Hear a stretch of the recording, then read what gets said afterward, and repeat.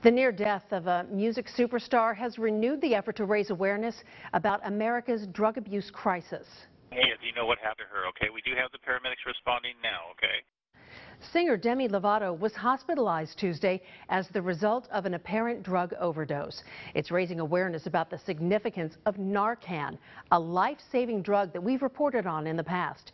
Investigative reporter Patrick Nelson went to find out how Lovato's story is impacting the fight against drug addiction here locally. Patrick.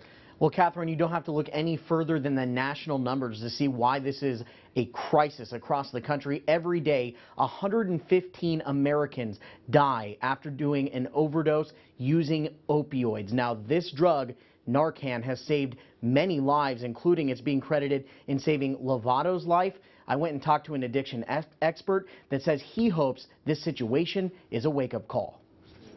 We do have the paramedics responding now, okay? Right now, just hour and a half out, but we are going with lights and sirens, okay? A 911 dispatcher speaks as first responders rush to the aid of singer Demi Lovato, reportedly suffering from an overdose and saved after getting a dose of overdose blocker, Narcan.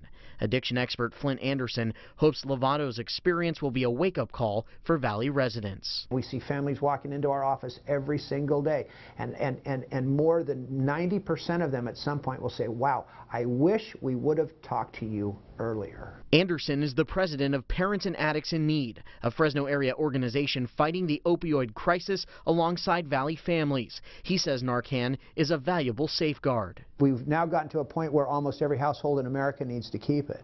So shouldn't we be asking ourselves that question? Why? But Anderson added that Narcan has also emboldened drug users. There's almost a pride in a lot of, especially heroin users today. Hey, you know what? I died six times in the last month. But you know, I had the Narcan to bring me out of it. As Demi Lovato recovers, Anderson urges parents to be proactive. If you suspect something, please don't be afraid to drug test your child. I mean, tr truly, what is the harm in that? And I also spoke on the phone with a pharmacist today that says one dose of Narcan like this can be acquired from a pharmacist for about $30 with a doctor's prescription. If you or someone you know is struggling with drug addiction, I went ahead and posted some resources on our website, yourcentralvalley.com. Reporting live in the control room, Patrick Nelson, CBS 47 Eyewitness News.